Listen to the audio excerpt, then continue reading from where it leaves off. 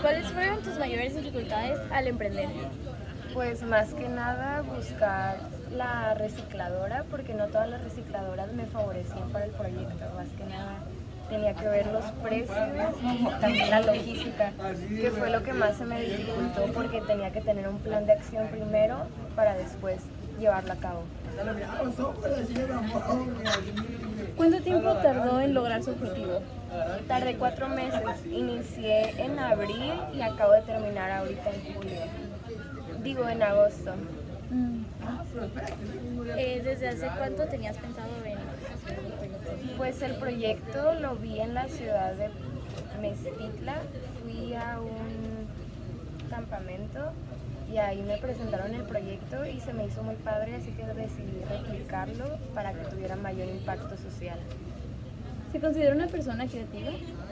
Yo digo que sí, porque para tener un proyecto de ti mismo y atacarlo tienes que resolver algunos problemas o inconvenientes que se van a ir presentando y si no tienes la creatividad para poder resolverlos, no es más difícil resolver eso. ¿Tienes algún ídolo o alguna persona que te inspire a hacer haciendo? La verdad es que no. ¿Qué le recomendarías a alguien que quiere emprender? Pues que ponga pilas, porque, o sea, el emprender viene desde tu corazón, yo así lo siento, y si no tienes la dedicación y esas ganas de hacerlo, no vas a poder lograr tu objetivo. Por ejemplo, es mucho trabajo, por eso tienes que saber que es algo que en verdad quieres para poder hacerlo.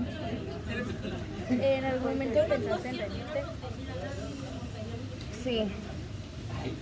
Dos o tres veces cuando me empecé a dar cuenta del estrés que era encontrar una escuela a la cual iba a dar este, los útiles escolares, el tener tanto material reciclable en mi casa, mi mamá se enojaba mucho conmigo, me decía que era mucha basura, mi casa literalmente estaba repleta de libros, el que me estuviera llevando y todo, mi mamá me lo reprochaba mucho.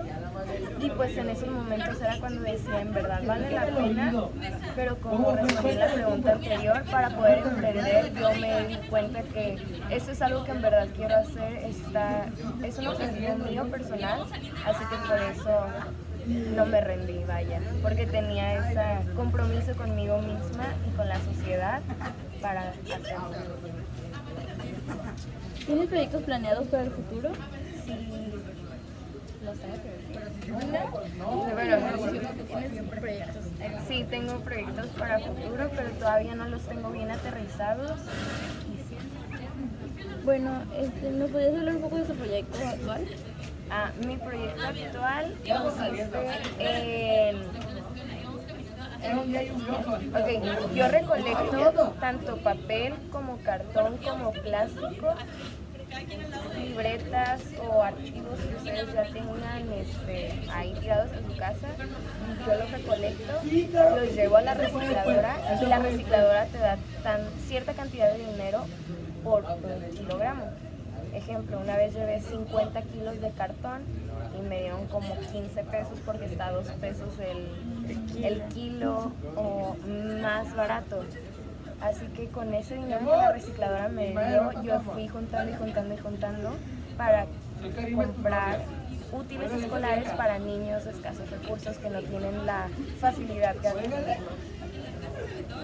Muchas gracias. De nada. Muchas gracias por prestarme. De nada.